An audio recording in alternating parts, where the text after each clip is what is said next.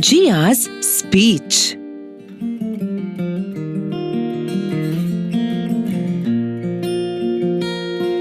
Imagine a world without pronouns.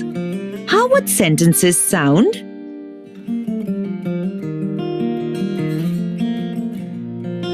Jia is preparing a speech for the upcoming Teachers' Day celebrations. Jia's parents are watching Jia as Jia recites the speech. Jia's parents love the speech. Jia's parents clap for Jia.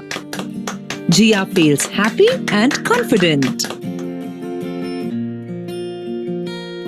Sounds odd, doesn't it? And so terribly long and repetitive. Thankfully, we do have pronouns. We have personal pronouns which we use when we don't want to repeat nouns. There are many personal pronouns. We can categorize them depending on whom we are talking about what the gender of the person or thing is. Whether the pronouns are subjects or objects in the sentence. Quite a lot of categories. So, let's go step by step.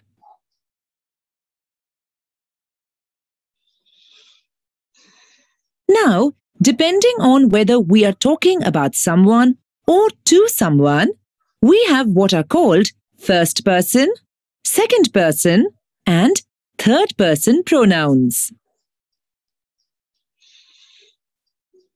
First person pronouns are I, me, my, we, us, and our. We use these pronouns to talk about ourselves. I take my dog Bingo to the park every evening. My dog Bingo loves me very much. Here, Basha is talking about himself. So, he uses the pronouns I, my, and me. Can you tell who Pasha is talking about now? We go to school together every morning. Our school has a nice canteen that serves delicious food. Aisha eats lunch with us every day. Basha is talking about himself and Jia. So, he uses the pronouns we, our, and us here. We must always use these pronouns to talk about ourselves with someone else. The pronouns I, me, and my are used for one person, animal, or thing. They are singular, while the pronouns we, our, and us are used for more than one person, animal, or thing. They are plural.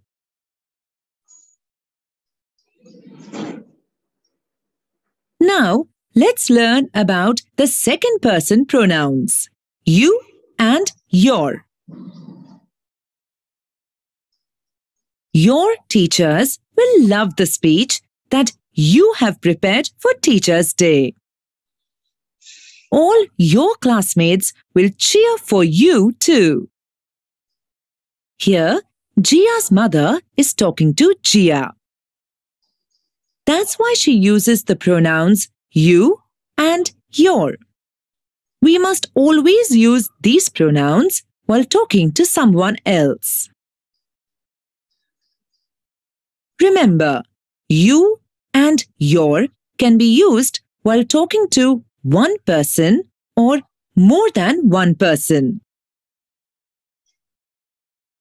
They can be used as both singular and plural pronouns.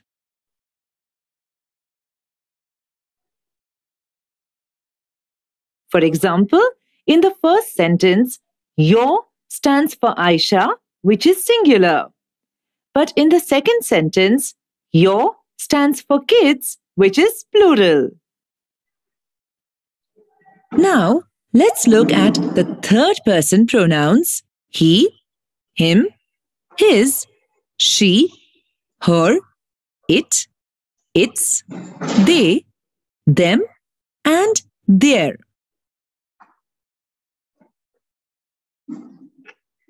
We use these pronouns to talk about someone or something else. Here are some examples. He built his robot at a very young age. Teacher praised him for his science project. These sentences are about Jiggy. So the pronouns he, him, and his are used to talk about him. Remember, he, him, and his are used for one boy or man. Similarly, the pronouns she and her are used to talk about Jia here. She gives her pet a bath every weekend. Aisha met her when she was just a baby.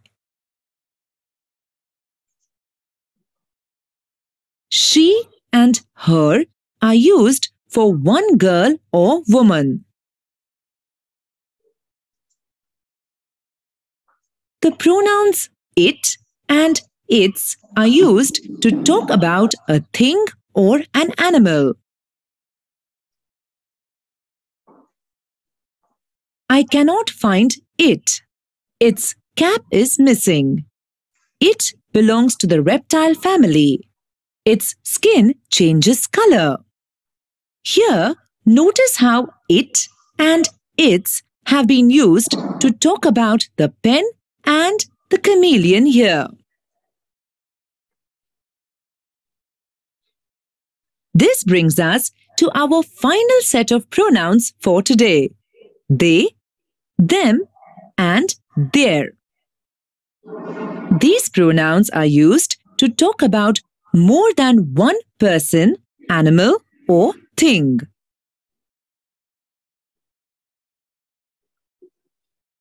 They are very mischievous. Their teacher always punishes them. They are gentle giants. Their trunks allow them to eat food. They are in the fridge. Please eat them before their flavor is lost. Notice how they, them, and their are used to talk about the students here. The elephants here and the pies here. Now, look at these sentences again. The pronouns I, we, he, she, and they are subject pronouns.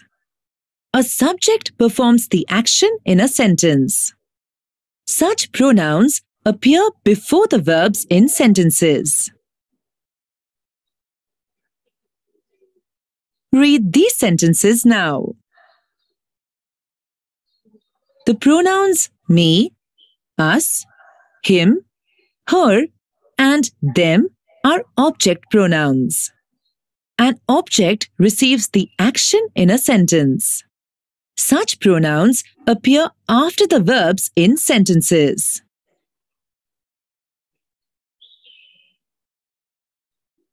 But the pronouns you and it are different. They can appear both before and after verbs. So, they serve as both subject and object pronouns. Some pronouns show belonging, like my, our, your, his.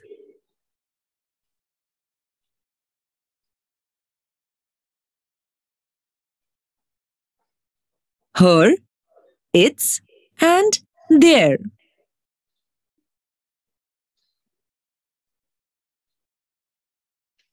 They are called possessives.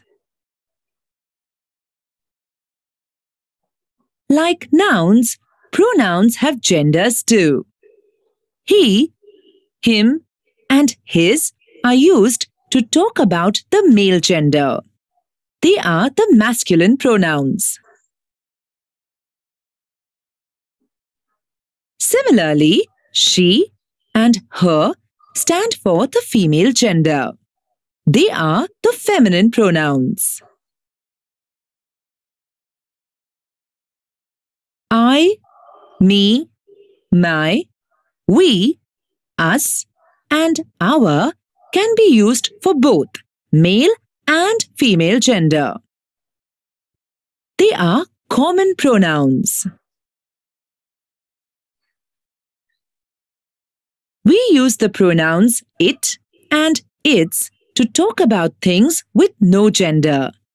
They are neuter pronouns. They can also be used for animals when the gender of the animal is unknown.